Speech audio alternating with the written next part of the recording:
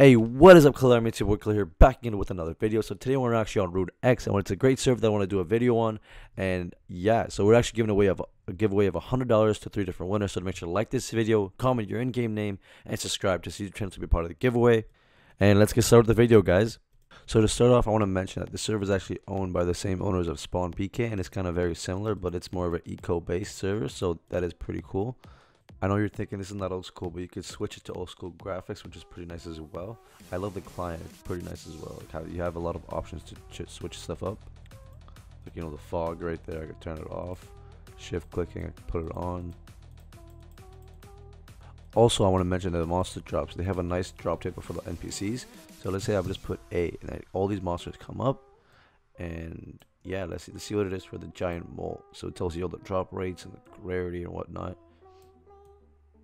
and yeah so you can get a pet there one out of 4000 which is pretty cool as well. And of course the other achievement system which is you know you just do the thing they ask and you get it. You get some cash.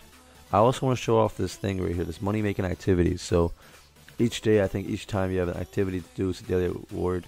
And you get these items for rewards which is pretty sick. So you teleport there and you do the activity and you pretty much get cash for it also, now looking at the teleport interface, it's pretty cool. So this is the money one I showed before, and the training teleport so it has that little training emoji right there, you know, the sign. And yeah, you could I guess pick how to teleport there. It gives you the option, which is pretty sick. Yeah, I find that this makes it much more simpler. So yeah, you want to go train your chunk combat, basic training your rock crabs, basic rock crabs, and boom, you're here. That's awesome. And also this boss teleports with that little sword. I guess it tells you the drop rates right there, everything cool as well, the possible drops. They have all these awesome uh, monsters, Zalrog, Kraken, Cerberus, of course. Pretty sick. And the thing that I'm most excited about is their mini games. I've heard a lot about these mini games, and I'm very excited to try it. Since this is a, a, a server tour, we're gonna make this quick. I'm not really gonna show it. I'm just gonna go to them and talk a little bit about them. I know this one right here, Karazi, is a is kind of a survival-based mini game. Oh, says I cannot bring any items, so I'm gonna go banker. Okay, now we can teleport there. So yeah, it's we're we're still we're still level like three, so we're not gonna do anything well. But yeah, it's basically a survival based and like the jungle is filled with like a bunch of creatures that you have to kill and and like it has like items and stuff and resources that you can you can get to help you survive. It's it's it's a it's a survival based game and it's awesome. Like I wanted to try it out.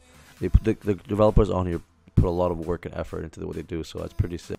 But yeah, basically with that mini game, you do kill players. If you kill player, you get your time added to that game and you end up with any of the items you loot in that game. So any kind of items you want that you get from that mini game, you get to keep after you die, which builds that incentive to kill more players and get more activity in that game.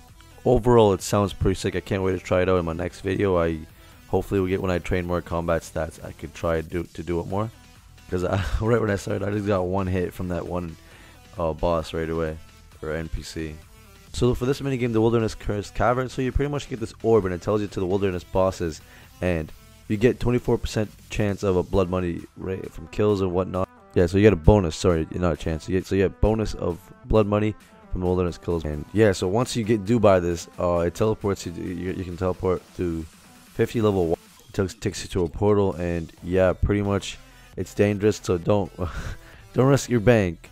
But you can make bank off this, like getting blood money and whatnot. You can buy stuff. And I, I don't think I mentioned this before. This is like this is like, a, like the player-owned store right here. So you can buy and sell stuff, your items and whatnot. So yeah, that, that's the POS. And I found this pretty cool as well. They have an imbued wizard, which which you can buy imbued rings as well. You can, you can imbue your rings and whatnot, which is pretty sick.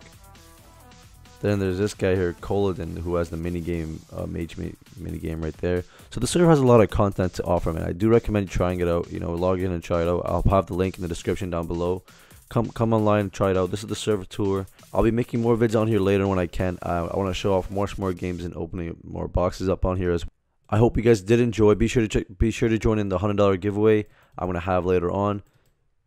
And yeah, peace out, guys.